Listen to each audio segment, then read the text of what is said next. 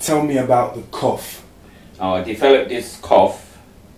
It was in 1996.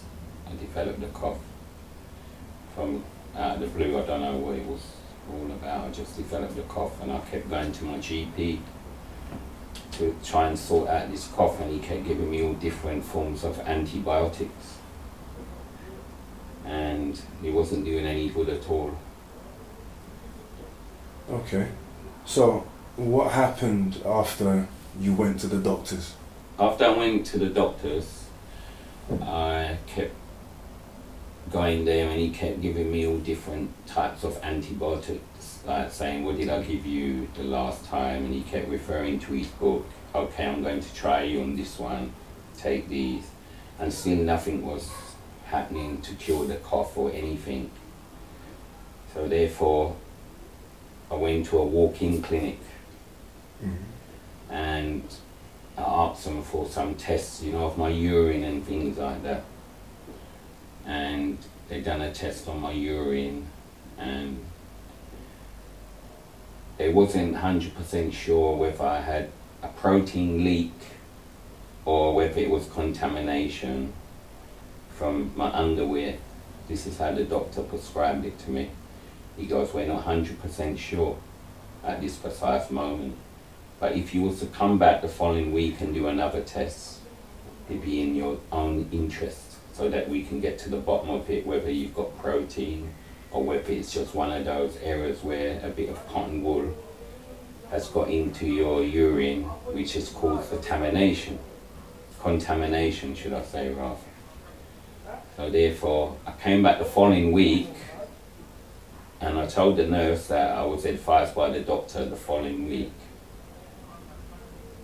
or should I say the week before, I was advised from the doctor to take another urine test on my next attendance, just to cover me to be sure that I didn't have any protein leak or anything.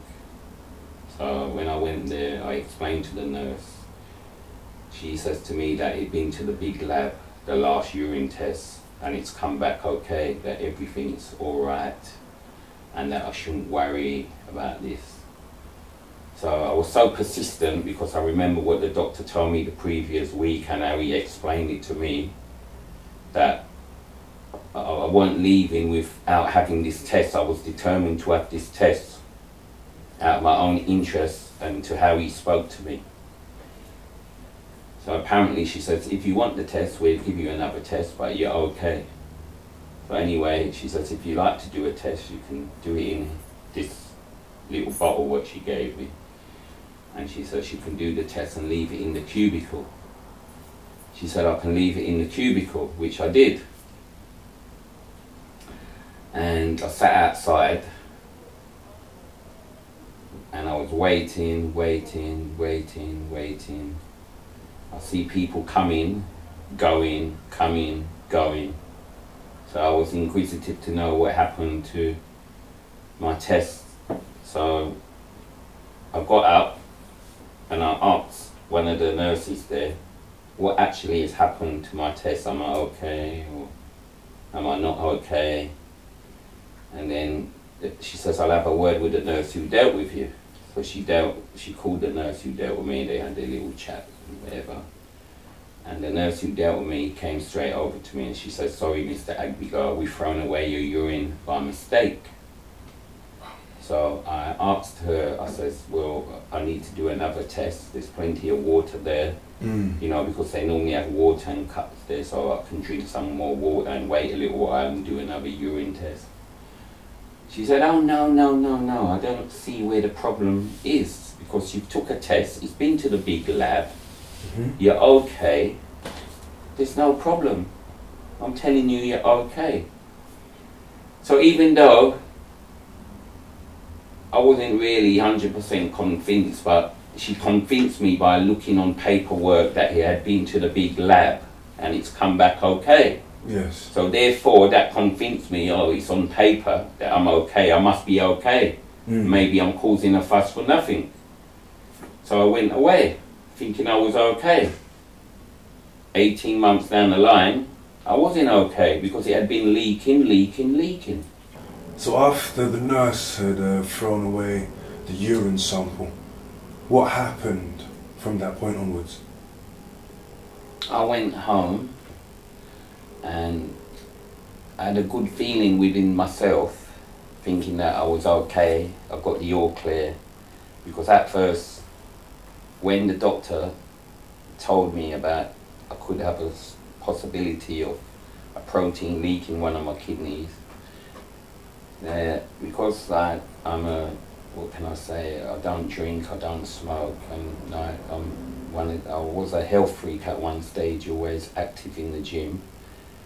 I was glad that got out of the way, that I was okay, so I can, so I can continue going to my gym, not having worries about my kidneys leaking, because I've never been in hospital in my life, you know. So it came as a big shock.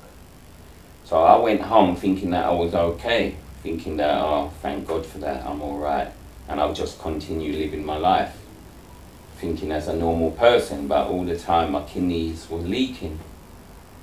Yeah, and then just by chance, because I still had that cough, and they sent me for a chest X-ray. By chance, the doctor demanded a urine test at the chest X-ray Mm. department, and when I took the urine test there, that's when they discovered I was protein plus plus plus plus because it'd been leaking for 18 months. 18 months. Yeah, it'd been leaking the kidney. And I was very disappointed when they told me the news. And How did it make you feel about the actual nurse herself? it just made me think that made me think really bitter towards her at the time but I'm, you know I'm not bitter now because accidents do happen. But these accidents what I find out in life they're still continuing you know hmm. with my health. So I'm very bitter really towards the national health to tell you the truth because like I'm in this situation now I can't go to do the work what I'm qualified to do like roofing and certain jobs like because of my fistula I can't carry you know certain objects which see my fistula I can't carry certain uh, object of objects really because of my fistula you know so the work what I studied for like roofing painting and decorating and things like that I can't do anymore. Do you know? And training kids in the football ground and things like that. You know because I've also developed diabetes because of this because of induced like the medication which they gave to me it induced diabetes on me. So that makes you very tired and restless. It makes you feel very drained out half the time you know? You you just just living each day as it comes really you know? The things you would like to do you can't do sometimes you know? Because it makes you restless you know? You know the kidneys ain't in full function operating in the right way and the diabetes is sinking in and so forth like that you know? So that's it really you know And you gotta put your other arm up as well to show the difference between the Mm. two. So essentially, at first we thought that for, by looking at them you'd think that they'd be tumors, but Mm. those are your actual veins. yeah And what's actually happened to you? Yeah. Because they built some, they said they built something down here, like a fistula. A fistula. So each time they're going in, yeah, it's getting bigger and bigger. I don't know how big it will reach before I have to start thinking seriously what's going to happen. Because compared to your other arm, as you can see, it's, it's, it's, it's not the same at all. At Let all. me put it this direction so you can see how big it really is. Uh, And all my hand all scarred up. and that's because they're injecting in the same place constantly. Yeah.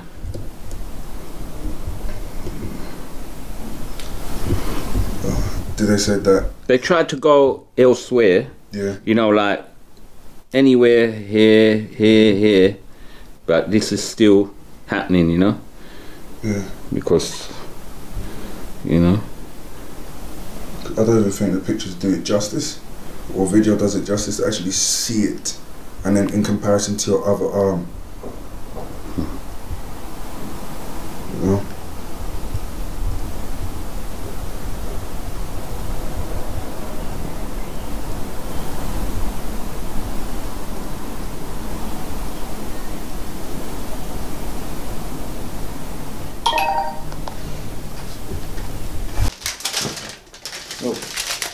Big old rusty thing them I put in on my arm all the while. Look.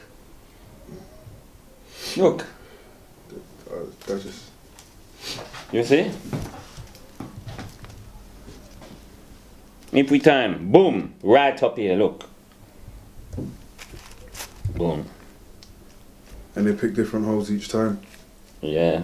But look, all this has been whole. uh, Look, it's my, sk- my, my skin is thinning. Look. So is that a vein?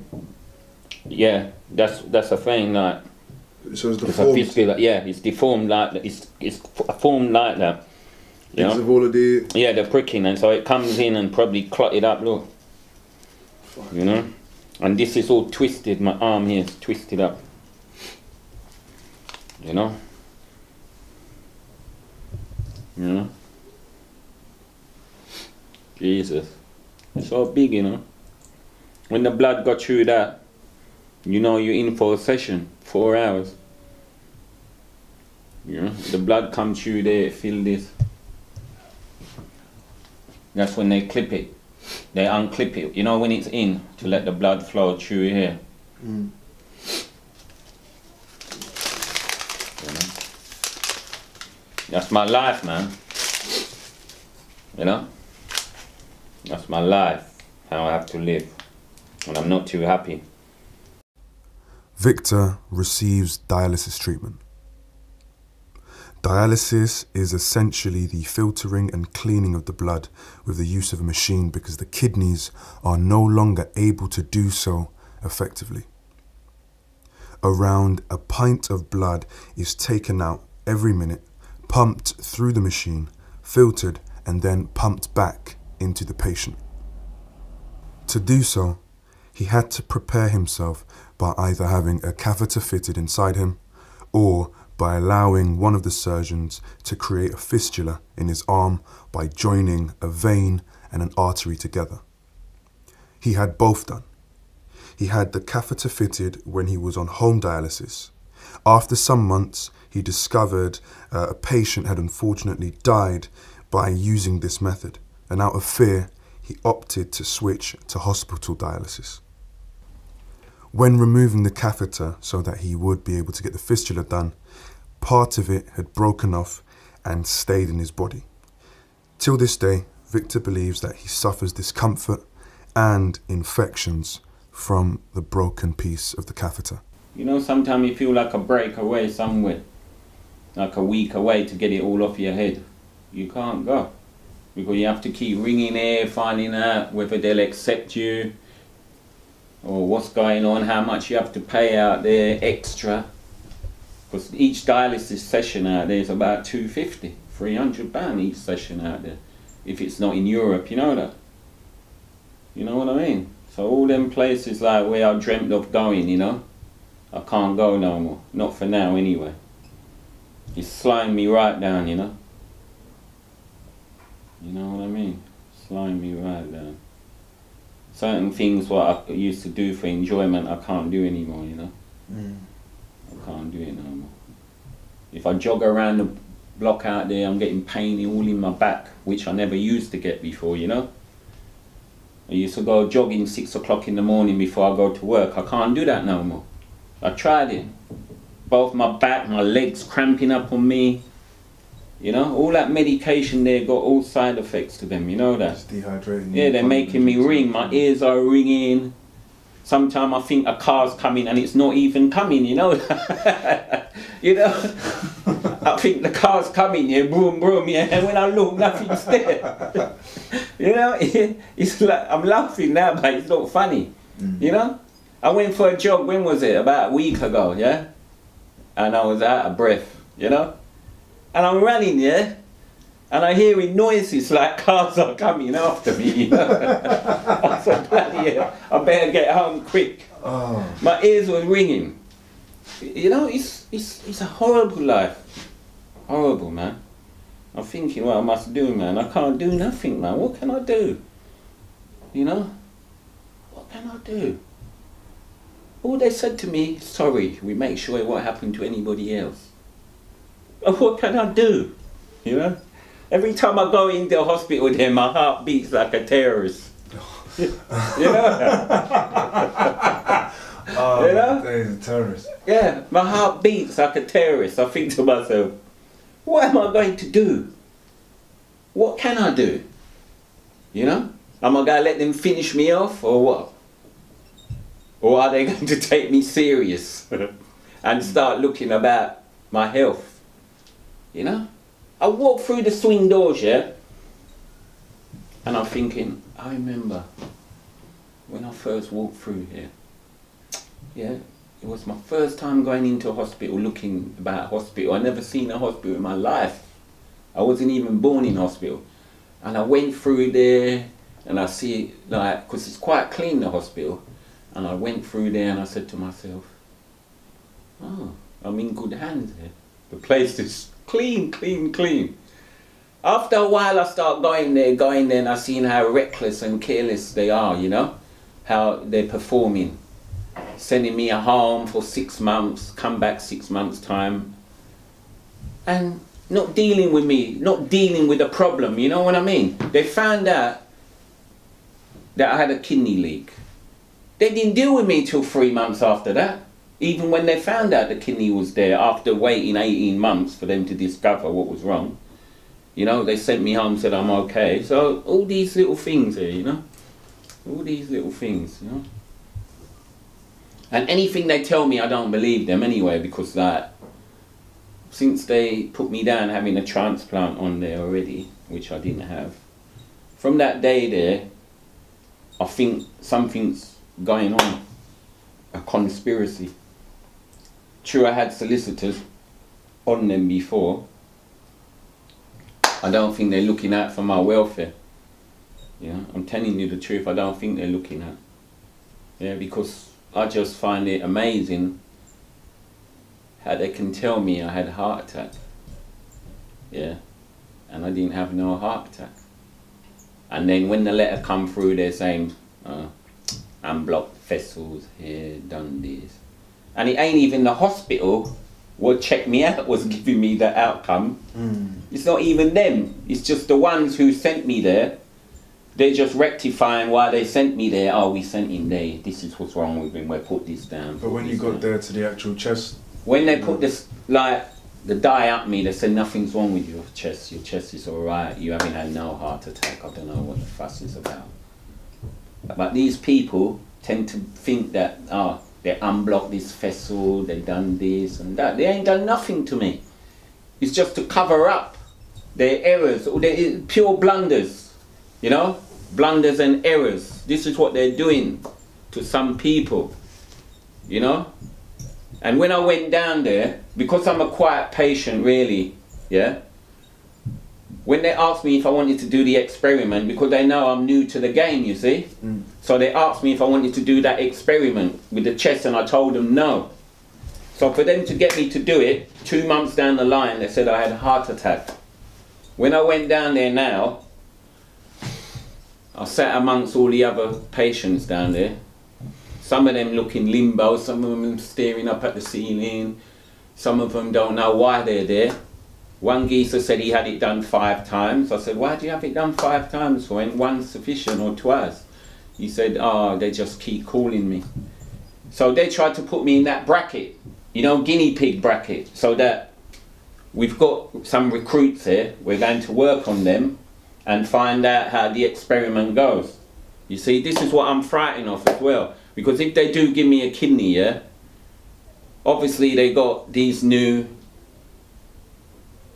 up and coming doctors, yeah, who wants to try to find out. You know, everybody's got to do their first operation, yeah. But I don't want them to do that with me because I've had that in the past when there was plunging my back for biopsy and all that. You know, they had the trainees doing it. Mm. And I didn't know nothing about it that time. That's how they caught me off guard. So when they keep plunging me, plunging me, my kidney was deteriorating more. Because they're putting holes in it, you know? But at that time I didn't know that they were trainees. It's only when I hear them saying little bit to the left, little bit to the right, plunge, you know? And then after he goes one more time, if we don't get it this time, we'll call the professional doctor to come. So I thought to myself, wait a minute, so you're not professional? He goes, no, these are the trainees, we're just trying them. So I said, why are you doing it with me for? You know? So anyway, they got somebody else to do it in the end. And that was it, because they kept plunging that muscle tissue instead of a kidney, Kidney. you know? And they start talking crap. Ah, did you work on a building site? Because it's hard to get through to the back. So I said, no. They said, ah, because like we're digging deep, but we can't get down.